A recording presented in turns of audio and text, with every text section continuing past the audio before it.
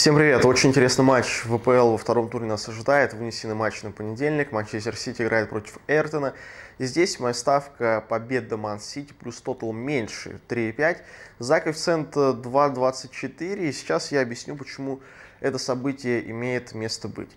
Вообще, э, важно сказать, что Сити очень хороший первый матч провел. Выиграл 2 0 в гостях у Брайтона, абсолютно по делу, создали очень много моментов, могли больше забить.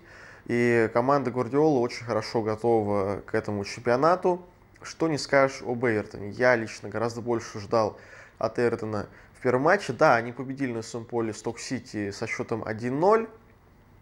Но учитывая то, что Эвертон, в принципе, неплохо усилился, э, да, конечно, не было каких-то вот прям э, таких топовых приобретений, именно которые вот очень, очень сильно могли усилить команду. Я не считаю Руни прям топовым приобретением, э, не только потому, что он бесплатно перешел, но еще и потому, что, в принципе, лучше его года позади. Но, тем не менее, Руни забил в первой игре, как я уже сказал, 1-0 выиграл Эртон, но тот футбол, который Эртон показывал, он лично не вселял э, доверие у меня.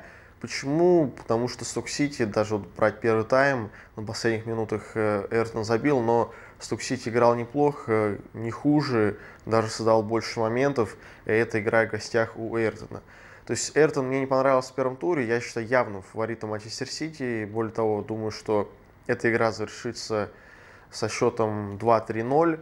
Не уверен, что Эртон сможет забить в этой игре. Да, у Сити были проблемы в обороне в прошлом чемпионате, и Гвардиола постоянно тратит очень много денег на то, чтобы укрепить оборонительную линию, но в принципе, по первому матчу мы могли видеть, что э, в целом э, защитники Сити действуют неплохо. И учитывая вот проблемы Эйртона, я думаю, что э, Сити может сыграть на ноль в этой игре, ну и при этом забьет 2-3 мяча. А это мы уже переходим, кстати, к Total меньше 3.5. Я увидел слишком большие коэффициенты на Total меньше. Поначалу я тоже рассматривал Total больше, однако ну уж слишком мизерный коэффициент на Total больше 2.5 стоит, и я просто-напросто вижу большой перекос в коэффициентах и не вижу смысла здесь брать Total больше. Абсолютно не уверен, в обе забьют. Почему Total меньше 3.5 действительно может пройти?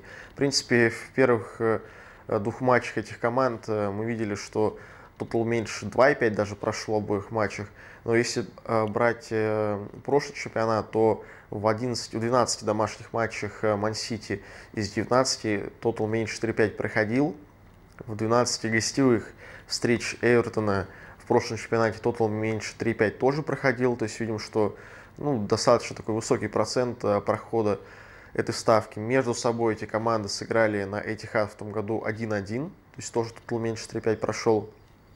Да и вообще последних 6 э, из 8 э, матчей Total меньше 4-5 прошел ну, между, э, в играх между этими двумя командами. Да, вот последних двух из трех эта ставка не проходила, но там Эйртон каким-то чудесным образом 4-0 на своем поле победил Сити.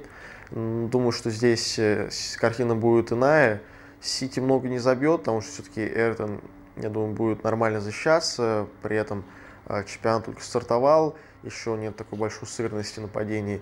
Но и то, что Эртон забьет, тоже, как я уже сказал, в этом сомневаюсь. Поэтому немного рискнем. Победа Сити плюс тотал меньше 4,5 за хороший коэффициент 2,26. Кому понравился прогноз, ставьте лайки, жмите подписаться. Не забывайте переходить в паблик ВКонтакте, там очень и очень много интересных событий, которые я выкладываю, которые не появляются на YouTube-канале. Ну и в комментариях высказывайте мнение по поводу того, как завершится эта встреча. Всем успехов и увидимся в следующих видео.